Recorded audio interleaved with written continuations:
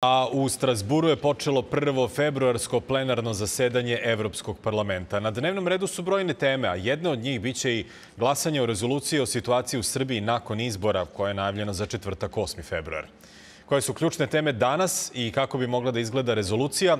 Neka su od pitanja za našu dopisnicu Teodoru Vasiljević koja je u Strasburu. Teodora, šta je na agendi ovog drugog dana plenarnog zasedanja?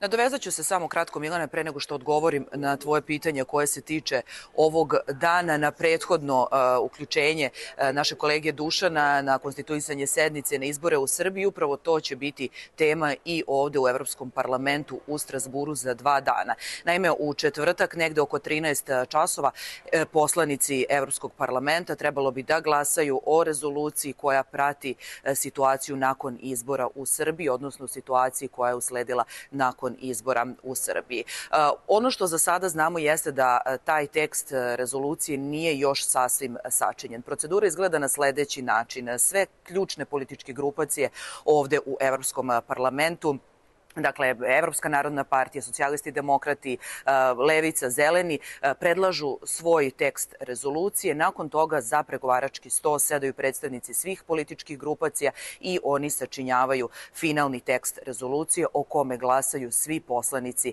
na e, plenarnoj sednici.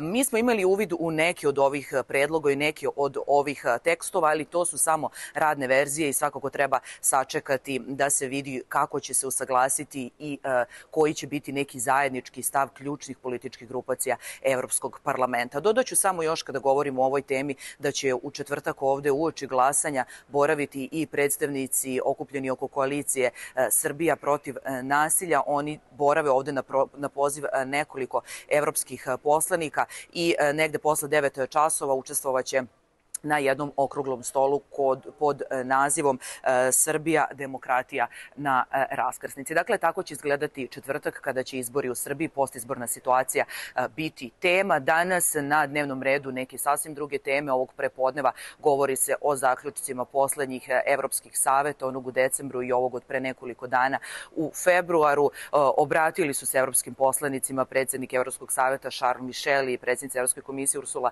von der Leyen i očekivano u e, negde fokusu njihovih govora bila je Ukrajina, važnost e, dalje, kako kažu, nepokolebljive, jedinstvene e, zajedničke pomoći Ukrajini, finansijske i svake druge, dokle god to bude potrebno, kako je rekao predsednik Evropskog saveta Charles Michel. Govorili su i o protestima poljoprivrednika koji se dešavaju u brojnim zemljama Evropske unije, koji su se desili u Briselu dok su oni bili upravo na pomenutom Evropskom e, savetu. Postoje neke naznake da će se možda pojaviti i ovde u Strasburu u toku dana upravo u delu oko Evropskog parlamenta. Mi ćemo biti i u i ispred e, zgrade, pratit ćemo svakako šta se dešava i u plenarnoj sali i ispred do kraja ovo nedeljnog plenarnog zasedanja u Strasburu.